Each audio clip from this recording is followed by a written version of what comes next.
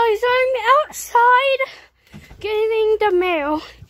Okay, where's my brother Lucas? Let's go get it! Oh God, it's dark. We need clothing out here. Right? Be quick. Hurry we're going to get the mail. Yeah. Oh God. Lucas, could you hold this mail?